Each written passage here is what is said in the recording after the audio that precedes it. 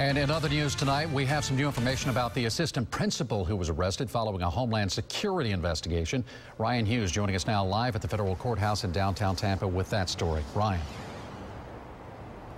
And good evening. Kyle Ritzman, employed as a vice principal at Cypress Creek Middle and High School in Pasco County. He was arrested yesterday for possessing and distributing child porn. He just appeared before a judge here at the federal courthouse in downtown Tampa. Federal agents got wind of the 35 year old assistant principal as they were investigating another person from Pasco County who was also arrested on similar charges late last year.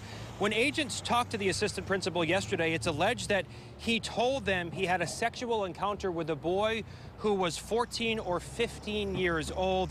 He claimed at the time when he was chatting with that boy online, the boy claimed he was 18, but detectives found nude pictures of the boy on Ritzma's cell phone. They questioned the boy recently, who of course is older now, and the boy confirmed that the two had some sort of sexual encounter. Now, Ritzma worked at multiple schools in Pasco County, and according to arrest papers, he also worked at a local YMCA in Pasco County from 2009 to 2013. He is due again in court here downtown tomorrow at 1 o'clock. Of course, when we get that information, then we'll bring it to you, but that's the latest from here for now, Keith. All right, Ryan Hughes and live in uh, downtown Tampa. Thank you.